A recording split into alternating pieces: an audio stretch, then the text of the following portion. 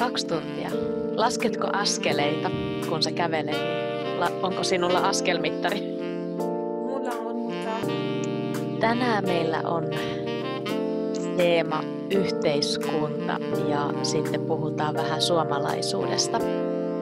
Niin paljon jo opiskelleet, että mä ajattelen, että, että me voidaan ottaa vähän ehkä vaikeampiakin kysymyksiä. Tasmia, mä kysyn sulta ensin, ää, mitä sä näet tässä kuvassa? Mitä nämä ovat? Minä näin suklaa. Suklaata. Syötkö suklaata? Joskus. Ei paljon. Joo. Joo. Miten suklaa liittyy Suomen kulttuuriin? Mitä sä ajattelet? Oikeastaan nämä kaikki kolme kuvaa tällä sivulla. Mm-hmm. Joo. Suklaata ja muuskahvia ovat ää, tosi tärkeä suomalaisilla, laisilla, ää, koska he antavat energiaa ää, erityisesti talvella. Ää, se on muus ää, Phaser ää, on suusi, suusikki suomalaisen suklaatamerkki ja se perustettu Ruotsissa. Mä luulen, en ole varma sata prosenttia. Ää, ja myös Suomessa on ää, paljon erilaisia herkkuja ää, ja ää, mm, syödään paljon suklaata. Ää, ää, ja mm, minusta se on ää, lempi suomalais, lais, lempi ää, herkku, ää, herkku Suom- Suomessa Mm. Mhm. Joo. Se on, äh, mä ajattelen, tämä Fatser on siksi aika hieno juttu, koska se on, se on tosi iso. Yritys, se on perheyritys alun perin, mutta se ei ole ruotsalainen ja se ei ole myöskään suomalaisten perustama. Se on Suomessa. Fatser on ollut Suomessa ihan koko ajan, mutta se on ulkomaalaisen perustama. Eli se on hyvä esimerkki siitä, että Suomessa on isoja yrityksiä, jotka joku ulkomaalainen on perustanut. Ja se on, se on, mä ajattelen, että jos käyttää tätä esimerkkiä, niin siitä voi tulla jopa suomalaisuuden symboli, vaikka se ei alun perin ole ollut sellainen. Ja tiedätkö, miksi tässä tämä ensimmäinen kuva, tässä ei ole suklaata, vaan täällä on, tämä ei ole kyllä leipää, siellä on jotakin leivoksia, mutta tiedätkö, miten leipä liittyy Fatseriin? Ää, f- ää, Fazer on iso yritys. Ää, He Mhm. tuottavat paljon ää, suklaata tai ää, maitoa tai ää, le- leipoa. Mm-hmm. Nämä ovat ää, leijutuotteita ää, ja mm, f- ää, Fazer on iso tuottaja, ää, iso leipotuottaja Suomessa ja heillä on, he, heillä on erilaisia ää, ää, leipoja. Ää, Mhm. ja, mhm. Kyllä, joo. Ja ihan alun perin, niin ihan alun perin Fatser toi Suomeen ensimmäisen Ranskan leivän. Tiedätkö millainen on Ranskan leipä? Joo, se on, ää, nimi on baguette. Joo, eli sellainen ihan valkoinen leipä. Suomessa, mi- millaista leipää suomalaiset syövät paljon? Ää, he syövät paljon ohraa ja ähm, mm, ruis, äh, äh, mikä on, äh, ruisa ja jo, Kyllä, joo. Mä ajattelen, melkein kaikki suomalaiset tykkää ruisleivästä, siitä tummasta leivästä, mutta Karl Fatser, tämä Karl Fatser on ää, alun perin, mä nyt en muista, että oliko hän ää, ranskalainen vai saksalainen, katsotaan täältä. Hän on kuitenkin ranskalais-saksalainen firma. Ja, ja sitten ää, se on 1800-luvulla, 1849 hän on muuttanut Suomeen ja sitten hän on ostanut 1856 vuonna 1856 vuonna hän osti sellaisen pienen paikan, missä he alkoivat sitten tehdä Ranskan leipiä. Nyt ehkä se Ranskan leipä ei ole niin tärkeä. Nykyään kaikki tietävät Fatserin suklaasta. Eli se suklaa on nykyään se, se tärkeämpi juttu. Okei, putsataan tämä. Tiedätkö muuten, Mari, mitä tarkoittaa putsata? mm, en, Puhdistaa. Minä deletoin nuo tekstit sieltä pois. mm. Onko se puhekielellä? Joo, joo, mä voin kirjoittaa sen tähän. Se on putsata. Putsataan tämä, tämä sivu, eli puhdistetaan, tyhjennän sen. Putsata tossa. Noin. Hamtsalle tervetuloa mukaan. Kiitos Maria, kiitos. Ja sori, että mä tulin myöhään, myöhään, myöhästyn. Mä olin vähän myöhäistä. Ei haittaa mitään. Tosi kiva, kun pääsit mukaan. Kiitos, Oletko sä, Maria. Oletko sä kotona vai töissä? Ei, mä olin töissä. Okei, okay, joo, Mm. mutta voit vähän puhua. Joo, joo, mä voin kyllä. Mä voin Maria. Kiitos. Joo. Jos, jos on mahdollista. Jos on Joo. mahdollista. Joo, oikein mielellään. Ää, Mari kertoi tuossa äsken Fatserista ja suklaasta ja vähän kahvista ja se on yksi ehkä sellainen Suomalla, ei ehkä symboli, mutta ihan tärkeä asia Suomen kulttuurissa. Mitä sä näet? Voitko katsoa kännykästä? Mitä sä näet Ja, ja tässä? mä, voin. mä luulen, että tässä on hi, hiihtä, hiihtäjä. Voi joko, joko suosit, suosittu, voi olla, että on joko suosittu or, urheillinen ihmisiä. On, kyllä. Mm. Ja hän harrastaa joku öö, joku urheilu, ö, su- suomalainen öö, perinteisesti urheilu. Joo. Suomalaista perinteistä urheilua.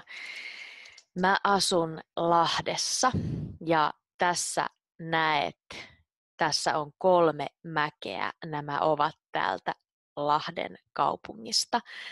Nämä Mm. ovat mäkihyppytorneja. Ne ovat mäkihyppytorneja. Ja se harrastus on mäkihyppy. Ah, joo. Eli he hyppäävät mäestä. Ää, tietääks joku teistä, kuka tämä mies on? Hän on aika kuuluisa mäkihyppääjä. Tietääks Mari tai Tasmia tai tiedätkö, tiedättekö mäkihyppäjien nimiä? Hän on Janne Ahonen. Hän on kuuluisa mäkihyppääjä, paljon voitti mäkihyppykilpailussa. Hamtsa, haluaisitko sinä hypätä? Ja mä, halua, mä haluaisin, joo. Mä haluaisin. Ö, mutta ö, ei, ei mäkyhyppyjä. No mistä sä haluaisit hypätä? Mä haluaisin kokeilla, jos on. Mä en ole varma, mutta mä, mä, pelkän, mä pelkän vähän. Mulle on Joo. fobia. Ö, ö, mm, haluaisin kokeilla para, paras mikä se on suomeksi para? Jos sä hyppäät len, lentokoneen. lentokoneen Laskuvarjohyppy. Joo, minä myös Joo. haluan kokeilla. Se on tosi hauskan näköistä. Joo. Eh, koska mä katsoin eh, mannok, mannoksia, mitä siis tulivat, Mm. eh, joskus tulivat mannoksia. Siellä eh, lähellä eh, eh, Vantaalle on joku koulu, eh, joku lasku, varjo, hyppyjä, mitä se maksat. Okei. saat- Mm. Paljonko se maksaa? On, on, on kallis. Noin Joo. yksi kerta äh, noin äh, 350 euroa. Oho, joo. Joo, Yksi hyppy on 350 euroa. Joo. joo. Se, äh, mä olen aina haaveillut myös, että joskus voisin hypätä, mutta voi olla, että en ole valmis maksamaan 350 euroa. Se on aika, aika paljon rahaa. Äh, mutta Maria, kannattaa äh, kokeilla tämän kokeilu, kokeilus, koska mm, mä lukisin äh, yksi artikkeli, mitä Aha. sanovat, että äh, mitä oli äh, ker, ker, äh, kirjoitettu, että se antaa sinulle adrenaliin enemmän ja, ja, ja se on posi, tulita sinulle positiivinen asioita sinulle. Joo, sinulle. Ymmärrät? joo, positiivinen. Ehkä mieli, mieli. Mieli. Vo- Voi Joo. sanoa suomeksi ehkä, mä laitan tuon punaisella, niin näette paremmin, niin suomeksi voi sanoa, että saa energiaa. Ja sitten on sellainen trendisana, joka on vähän vaikea sana, mitä käytetään paljon. Se on, onko se empowerment, niin se on niin kuin voimaantua, voimaantua. Voimaan tuo. Niin ehkä sitä tapahtuu. Okei, kiitos ideasta. Voi olla, että täytyy joskus kokeilla, jos siitä tulisi. Kiitos Maria. Hyvä, kiitos sinulle. Ja nyt mä taas putsaan tämän taulun ja mennään eteenpäin seuraavaan tasmia. Katsotaan, saatko sieltä auki. Tässä on nyt vähän toisenlaista kulttuuria. En mennä tuonne musiikkiin vielä. Tässä on kaksi miestä ja ää, he ovat kirjoittaneet kirjoja Suomessa. Mikä ammatti, jos hän kirjoittaa kirjan? Haluatko Tasmia kommentoida? Mikä heidän ammatti on? Kirjailija. Kyllä, tässä on kaksi kirjailijaa. Ää, oletko kuullut suomalaisista kirjailijoista? Tiedätkö nimen? Ei ole. En ole. Joo, kirjailija. Ää, tässä tämä mies, hän asui Tampereella. Hän on Lauri Viita. Lauri Viita, hän on Tampereelta. Tiedätkö, mitä ne ovat, jos kirjoittaa pieniä tekstejä? Mä ajattelen, että sun kotimaassa on sellaisia pieniä, pieni kaunis teksti paljon.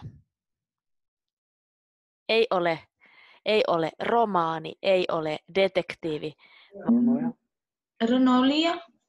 Joo, apulaiset auttavat siellä. Kyllä, hän on runoilija. Ja mikä se teksti on? Mies on runoilija. Joo. Ja sitten se pieni teksti. Mikä se pieni teksti on? Se on runo. Runo. Joo. Runo. Kyllä. Luetko sinä runoja? Luetko kirjaa?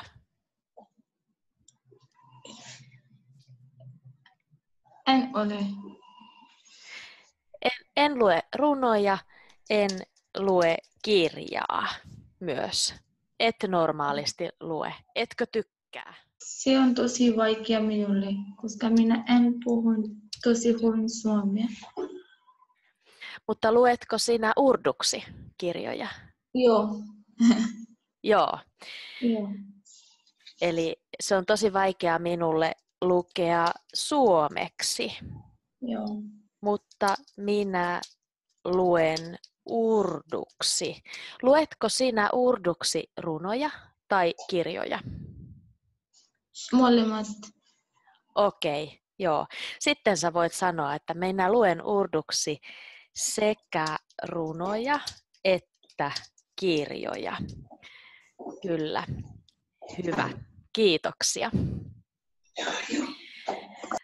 Okei. Ja tämä mies tässä, Mari mä kysyn vielä, tämä on Johan Ludwig Runeberg, tämä mies, niin tiedätkö millainen kirjailija tämä mies tässä oikealla, oikealla puolella on? Tiedä. Kirjallisuuskirja. Ki- Kirjallisuuskirjailija. Kyllä, joo. Hän, hän kirjoitti kirjoja ja hän on Suomen kansalliskirjailija. National writer. Kaleva. Ä, ei, ei. Se oli toinen mies. Muistatko hänen nimen? En. Joo. Kirjailija. Runeberg on kansalliskirjailija ehkä siksi, koska hän on, äh, tiedätkö mikä on hymni? En. Mm, sitten ää, mä kirjoitan sen tähän, se on hymni. Eli jos on joku kilpailu tai joku tärkeä tapahtuma Suomessa, niin soitetaan sellainen laulu. Se on sellainen musiikkikappale, joka on Suomen national hymn. Se on Suomen kansallismusiikki. Ja tämä mies kirjoitti sanat, lyriikat siihen. Mhm. Ja hänellä on myös kirjoja, mutta ehkä tärkeämpi on tuo, että hän kirjoitti sen laulun sanat. Ja siitä me menemme tähän. Tiedätkö, kuka hän on? Ää, en valitettavasti tiedän paljon suomalaisia kirjailijoita tai laulajia. En tiedä hänen. Oletko kuullut sellaisesta miehestä kuin Jan Sibelius?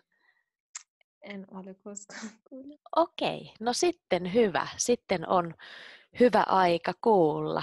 Eli hän on aika tärkeä. Hän kirjoittaa musiikkia. Tiedätkö, mikä se sana on, kun hän kirjoittaa musiikkia? Uh, biisejä. Hän tekee biisejä, joo, mutta hän tekee oikeastaan enemmän klassista musiikkia. Hän on jo kuollut paljon aikaa sitten. Mhm. Ää, tiedätkö, mikä tämä on täällä? Um, en tiedä. Jos joku tietää, niin sanokaa. Yksi. Solfege. Solfege. Solfege. Solface. Joo, se on, se on nuotti. nuotti. Se on niin kuin musiikkikirjain. Se on nuotti. Ja sitten tässä nuotti plus nuotti plus nuotti plus nuotti, siitä tulee sävel. Sävel. Ja Jan Sibeliuksen ammatti, se tulee tästä. Osaatteko arvata Mari tai Hamtsa tai Tasmia, osaatteko arvata, mikä hänen ammatti on? Sävelee. Aika hyvä, joo. Se on säveltäjä, säveltäjä. Hän säveltää.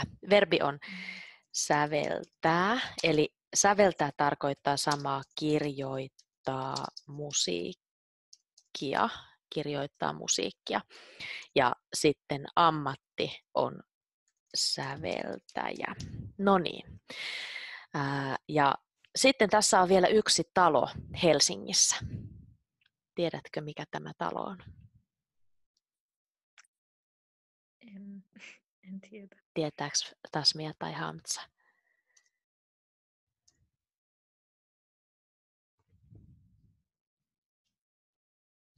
Se on fin- Finlandia-talo. Ja siellä järjestetään, mitä, mitä, mus, mitä siellä soitetaan Finlandia-talossa? Mitä, mitä orkesteri organisoi, mitä orkesteri järjestää?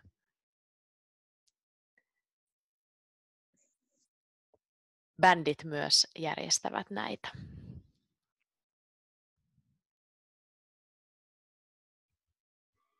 Konsert. Kyllä, se on konsertti. No niin. Nyt Mari, sun tehtävä on yrittää kertoa vähän. Eli tässä on nyt yksi ihan tärkeä juttu Suomen kulttuurissa, Jan Sibelius. Hän on tehnyt paljon klassista musiikkia ja Jan Sibeliuksen konsertteja on esimerkiksi Finlandia-talossa, mutta paljon myös muualla maailmassa. Kerro, mitä sä ajattelet klassisesta musiikista tai millainen merkitys tällä on kulttuurissa? Minusta on, musiikki on tosi tärkeä Suomen kulttuurissa. Erityisesti he mm, arvostellaan rock-bändi mm-hmm. Suomessa. Se tulee Rovaniemeltä. Ei tule, mutta mä kuulin, ei tule Rovaniemeltä, mutta kuulin, että on iso veisto Rovaniemelle ja se on rock symboli. Mm-hmm. Mus, Suomessa on paljon festari, mm. erityisesti mm, kesällä. Ja myös Suomessa kuuntella, kuuntella, kun, kuunnellaan paljon pop-musiikkia ja myös iskelmiä. Mm. Onko sulla joku suosikki, mistä sä tykkäät? Um, valitettavasti mä en tiedä paljon suomen äh, musiikista, mutta mm. joskus mä kuuntelen äh, sellainen pop-musiikkia mm. ja mä tykkään, mutta en tiedä paljon laulaja. Uh, vain uh, Voice of Finland mä kuulin mm, uh, suomalainen musiikkia mm. ja mm, olivat täällä neljä suomalaisia laulajia. He mitta, mittivat ja Oili oli suusti äh, suomalainen laulaja. Hän kuuli äh, sairauksista. Mm-hmm, kyllä. No. Joo. Mulla ei ole enää tietoa.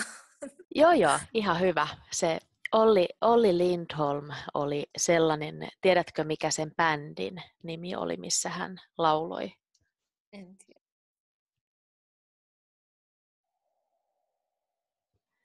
Se oli sellainen kuin yö, eli ei päivä, vaan yö. Ja se oli silloin, kun minä olen nyt jo aika vanha, silloin kun minä olin nuori, olin ehkä noin, tai olin melkein lapsi 15 vuotta, niin silloin tämä yöyhte oli uusi bändi ja monet kuuntelivat sitä. Mä en ollut en, en tykännyt ihan hirveän paljon siitä, mutta, mutta se oli sellainen trendikäs musiikki ja si, silloin siihen aikaan tosi monet nuoret ihmiset tykkäsivät tästä bändistä. Ja vielä kuuntelevat, siellä on ihan monta klassikko biisiä. Mikä on biisi? Biisi on kappale.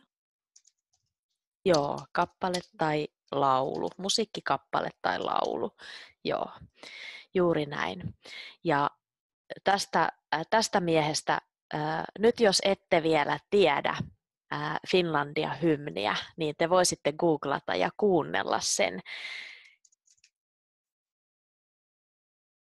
Tai sitten, sitten jotakin Sibeliuksen musiikkia, joku serenaadi, joku, joku sellainen musiikki, mitä hän on säveltänyt, niin siellä on ihan, ihan paljon mielenkiintoisia kappaleita voi, voit ainakin katsoa, jos tykkäät. Ja täällä on vielä yksi kirjailija, ei katsota häntä. Hänen nimi on Aleksis Kivi. Aleksis Kivi on tärkeä suomalainen kirjailija. Ja sitten täällä on yksi, yksi sellainen suomalainen symboli, joka on ihan tärkeä. Zinat, tervetuloa mukaan. Moi Zinat, haluatko kertoa? On kirja ja epos. Se on suomalainen epos. Kuka tietää? Tosi tärkeä kirja Suomessa. Kir, kirja, kirjoittaja tai hän ei itse kirjoittanut, hän keräsi. Sellainen mies kuin Elias Lönnruut keräsi nämä laulut. Vanha, vanhat suomalaiset ihmiset lauloivat lauluja ja sitten tämä Elias meni ja keräsi, kirjoitti laulut muistiin ja sitten tuli kirja. Se on Kaleva. Se on Kalevala, kyllä, joo. Missä sä olet kuullut Kalevalasta? Se on kansallinen Suomen kirja ja se on tosi vanha ja tärkeä su- suomalaisille. Mm-hmm. Ja ähm, jos googlat ja etsiä kansallinen äh, kirja koko maailmassa, voit lue listaa Wikipediasta.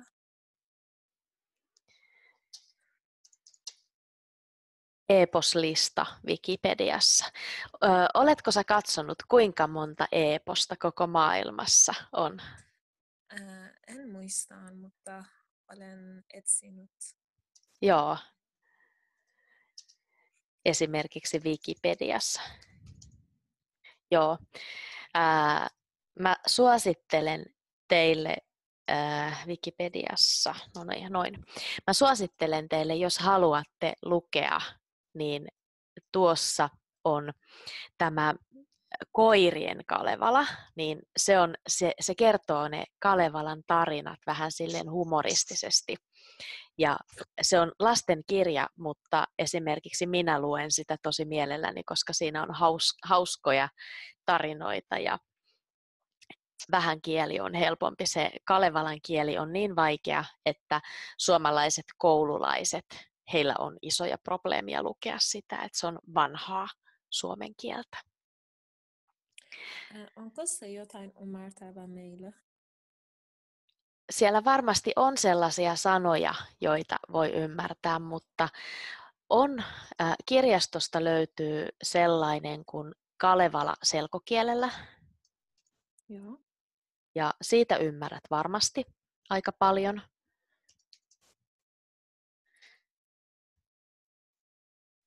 Ja sitten tuosta koirien Kalevalasta, mutta se vanha Kalevala, niin siinä on, jos sinulla on sellainen versio, jossa on kauniit kuvat, niin niistä kuvista sä voit saada vähän informaatiota, mm-hmm. sä voit katsoa sieltä, niin voit ymmärtää joitakin sanoja, mutta se teksti on kyllä tosi hankala.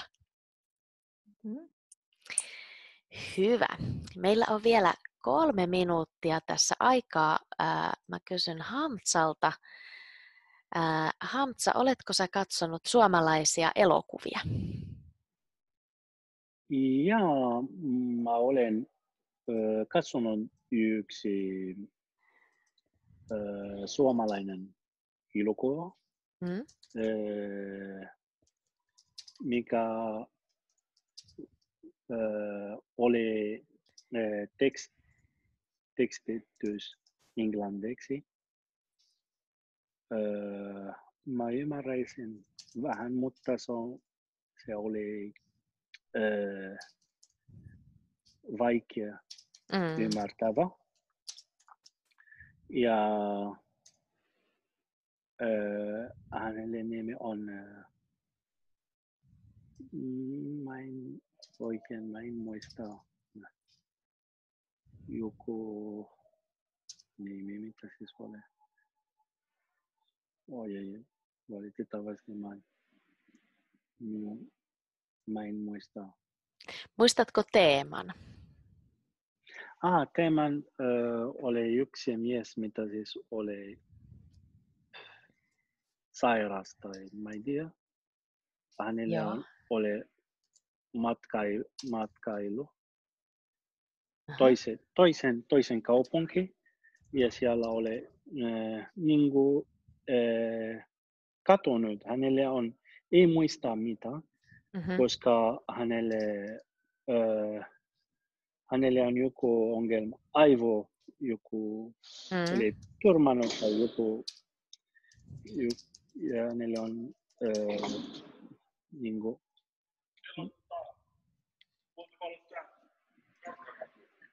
Joo. ja, joo, Olikohan se Joo, mat- matkalla Yes, Mombasaan? kiitos. Eh, en, ei, ei, ei, Ei. ole. Ei, ole, Okei, ei ole. joo. Mu- Okei. Mutta m- ja m- jos mä, mä muistan, että mä, mä, kirjo, mä laitan sinulle viesti äh, Joo. Whats- WhatsAppin. Äh, Joo. Se on, se on mielenkiintoista äh, elokuva, suomalainen elokuva, jon, ja se, käy, se äh, oli vanha, vanha, vanha äh, elokuva Mm. se oli vain, äh, äh, mikä se on, musta ja, ja valkoinen äh, väri. Joo, okei. En, joo. en, mm, ja, Se oli mustavalkoinen leffa. Kyllä, joo. ja, Se, ää, me tosi vanhat elokuvat, mustavalkoiset Mm. vanhat, ne ovat juuri tämä S-Suomi-filmi. Ja monet Joo. sanoo, että niissä se kieli on, koska he puhuvat vanhoissa traditionaalisissa filmeissä puhutaan aika paljon kirjakieltä. Myös sitä kieltä on Mm. helpompi ymmärtää ja tosi hyvä, jos Mm. siellä oli tekstitys myös. ja, mutta se tekstitys auttaa paljon.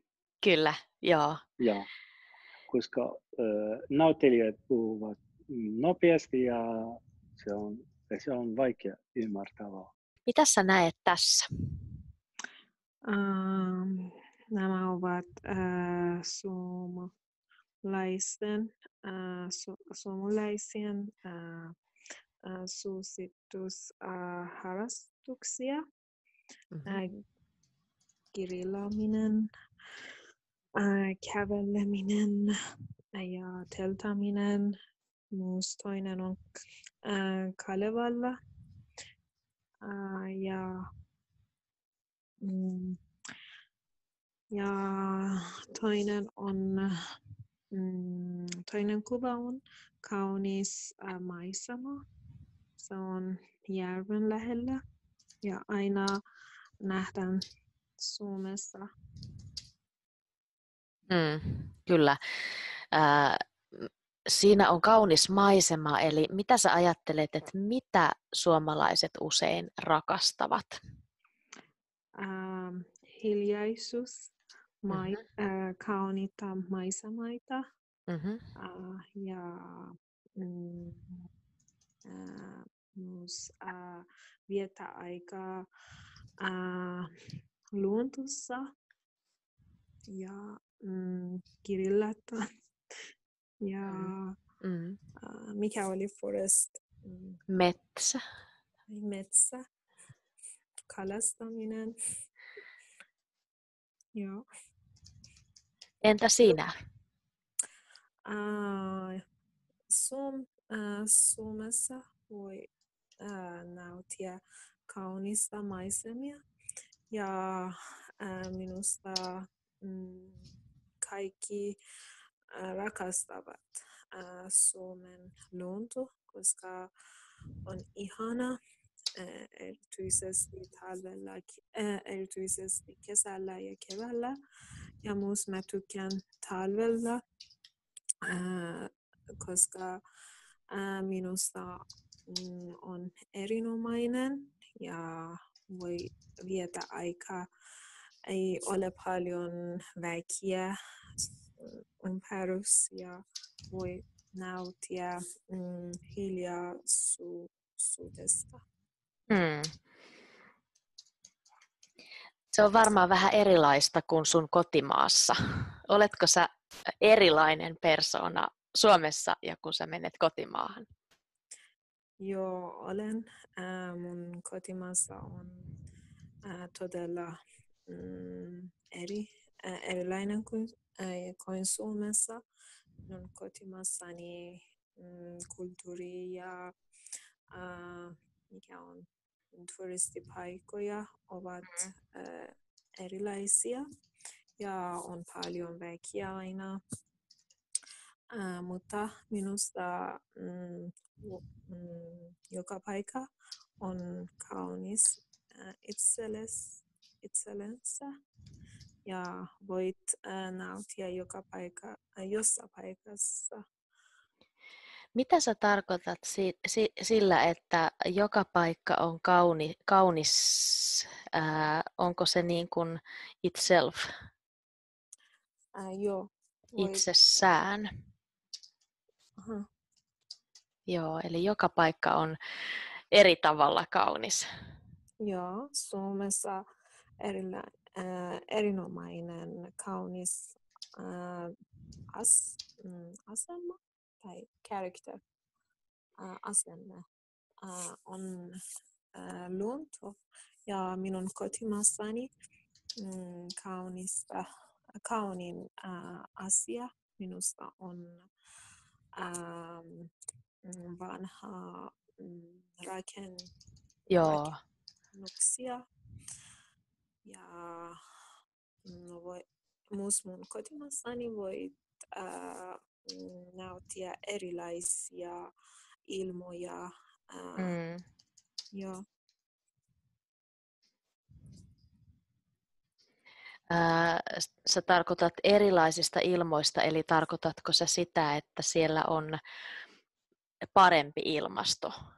Ei, se on minun, äh, mä tarkoitin, että on äh, different climates in my country. Joo, eli ää, voi nauttia erilaisista ilmoista. Koska minun kotimaassani on äh, desert, on meri, on metsä, on Mikä on dessert? äh, joka paikka ei ole vetä ja on Mhm. kuiva. Mikä se on suomeksi? Mä muistan.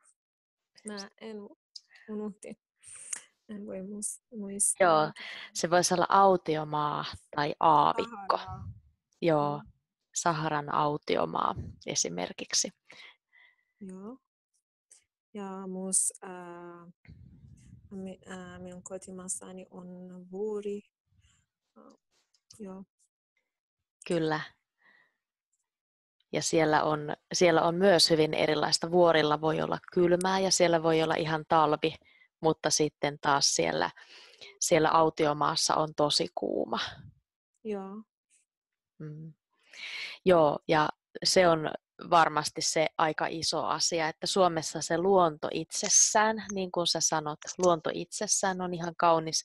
Ei ole paljon kauniita vanhoja rakennuksia, mutta sun kotimaassa se arkkitehtuuri on sellainen todella spesiaali, ihan, ihan erityinen ja siellä valitettavasti paljon vanhoja upeita rakennuksia ei ole enää kunnossa.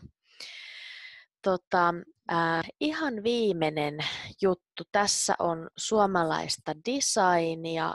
Täällä on sitten, sitten vähän taas kirjallisuutta, mutta myös sitä muuta, muuta kulttuuria, mitä Suomessa on. Niin yksi kysymys, ää, ei oteta näitä kysymyksiä, vaan, vaan otetaan täältä ihan lopusta sellainen,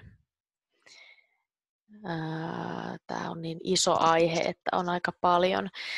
Otetaan vaikka nämä symbolit tässä. Tässä on muutama suomalaisuuden symboli, niin mikä sun mielestä, mikä symboli kuvaa parhaiten Suomea ja mikä on sun kotimaan symboli? Minusta Suomen symboli on ää, Mikä on ää, liitonin juus? Joutsen. Joutsen. Joo. Karhu. Mhm.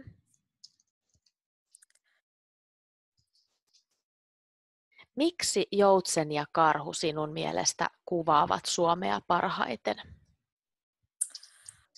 Ää, koska mm, ää, asuvat paljon karhuja Suomessa, Mhm. metsässä, erityisesti Kusamossa. Ää, Myös ää, juusten, mm, en tiedä miksi, mutta kuulin paljon näistä ovat tärkeää suomalaisessa kulttuurissa. Mm. Esimerkiksi se joutsen merkki, jossa ostat kaupasta jonkun tavaran, niin se on ekologinen tai suomalainen. Mikä, onko sun kotimaassa joku symboli? Ähm, ää, isoin symboli kotimaassani on ää, vanha-aikan ää, kirjailija ja mm, mikä on, mm, on myös paljon, ää, joka rait, ää, mikä nimi on, joka ää, kirjoittaa paljon kappale. Runoilija, runoilija, Joo, poet. joo. Joo, ja myös ä, arkkitehtori. Ja mm, ruoka. ruoka. Joo, ne on tärkeitä asioita ja minusta se on aivan mahtavaa, että on kulttuureja, joissa esimerkiksi runous on tosi tärkeä. Mä ajattelen, että Suomessa se ei ole niin tärkeä kuin se voisi olla, mutta ehkä siksi, että Suomi on nuori kulttuuri ja sinun kulttuuri on vanha kulttuuri ja siellä on paljon historiaa ja paljon, paljon esimerkiksi runoutta. Hyvä, kiitos